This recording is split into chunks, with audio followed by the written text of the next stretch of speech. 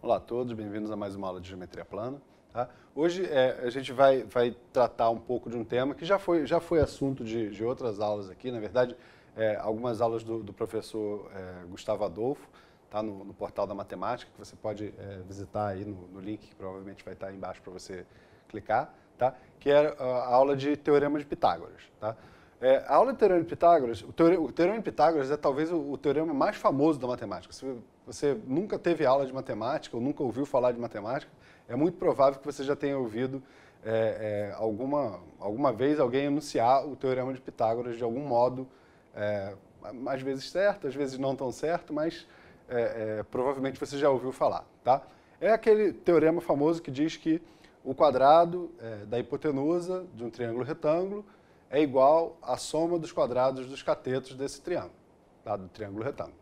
Bom, é, hipotenusa, cateto são, são elementos típicos de triângulo retângulo, tá?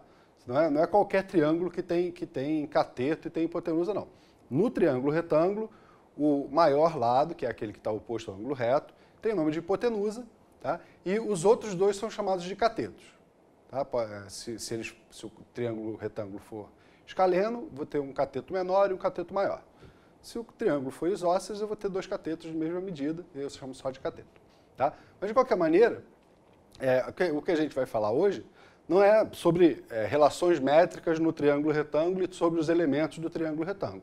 A gente vai mesmo falar do, do, do Teorema de Pitágoras. O Teorema de Pitágoras foi demonstrado do, pelo professor Gustavo Adolfo tá? É, a partir das relações métricas que ele demonstrou usando semelhança de triângulos.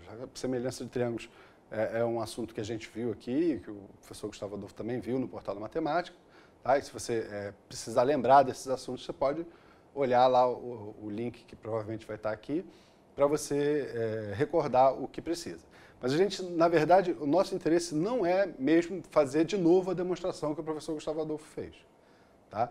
É, eu já tô, eu tô aqui é, meio que no quadro escondendo a figura, porque é, o que a gente vai, vai, vai tratar nessa aula é um tipo de demonstração que, em princípio, ela não deveria vir acompanhada de, de, de uma explicação.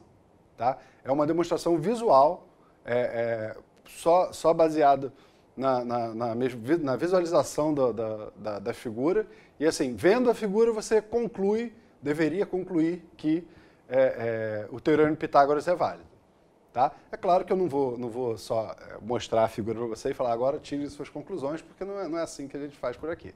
Tá? Eu vou é, explicar é, o porquê que aquela, aquelas figuras demonstram o teorema de Pitágoras e, no fim de tudo, eu ainda vou fazer uma, umas contas para mostrar que aquelas contas funcionam de verdade. Tá? É, como eu falei, essa, essa, na verdade, é a primeira de uma série de aulas de demonstração do Teorema de Pitágoras usando, é, é, usando só figuras onde você visualiza e enxerga. Bom, o Teorema de Pitágoras funciona. Tá? Ou com pouquíssimas contas você consegue chegar à conclusão de que o Teorema de Pitágoras funciona.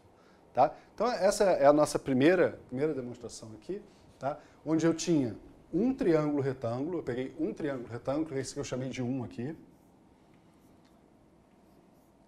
esse triângulo retângulo que eu chamei de 1. Tá? Aí eu coloquei um do lado aqui, um igual a esse do lado. Certo? É, peguei outro triângulo retângulo, aqui montei já com um ângulo reto, embora eu não tenha colocado. Coloquei com um ângulo reto um triângulo retângulo 4 aqui para cá. Tá? E coloquei um igual do lado. Então eu tenho quatro triângulos retângulos iguais aqui. Certo? É, e eu montei de tal forma que é, essas partes que eu deixei em branco aqui, essas duas partes que eu deixei em branco, são quadrados, porque esse cateto do triângulo retângulo é igual a esse cateto do triângulo retângulo. Esse ângulo é reto, esse ângulo é reto, na verdade isso aqui é um quadrado. A mesma coisa vai acontecer para cá. Tá? Então eu montei uma figura tá? que é, é um quadrado, essa figura toda aqui é um quadrado, tá? e dentro desse quadrado eu tenho quatro triângulos retângulos idênticos e dois quadrados um quadrado com lado igual ao menor cateto, tá? e outro quadrado com lado igual ao maior cateto. Certo? Então, olhei para essa figura. Tá certo? É, agora, eu peguei esses, tri esses triângulos todos aqui, tirei tá? e rearrumei esses triângulos. Tá? Então eu peguei o triângulo 1, coloquei aqui. Tá? O, o triângulo 2 eu coloquei aqui embaixo. Ó. O triângulo 3 eu coloquei aqui. E o triângulo 4 aqui por último. Tá? Com isso, eu montei um, uma outra figura, que não é muito difícil perceber que vai ser um quadrado também. Tá? É, Para você, é, você verificar que realmente é um quadrado, basta você lembrar que a soma do, dos ângulos é, não, não retos do triângulo retângulo dá 90, tá? dá 90 graus. Ou seja, eles são complementares, esses triângulos são, esses dois ângulos são complementares. Tá? E como esse é, triângulo é igual a esse, o que está acontecendo é que esse ângulo que eu marquei aqui vai ser igual a esse ângulo que eu marquei aqui. Tá certo? Então, a soma desses dois é igual a 90 graus. Mas isso daqui é um ângulo de meia volta e, portanto, o que sobra aqui é um ângulo reto, como a gente queria. Tá? Como é, os, os, os triângulos são todos iguais, essa figura que estava no meio aqui já era um losango. Tá? Para eu garantir que ele é um quadrado, basta mostrar que ele tem um ângulo reto. Então, se ele, é um, ele era um losango, porque ele tem os quatro lados iguais, e tem um ângulo reto. Então, essa figura é um quadrado. Tá? Então, essa nova figura que eu montei tá? é também um quadrado. É, a gente vai, vai verificar que ele é idêntico ao quadrado original.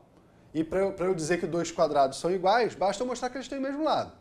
Tá? Só que, é, se você olhar bem, ó, é, chamar esse tamanho aqui de 1, de dois tracinhos, e esse aqui de três tracinhos.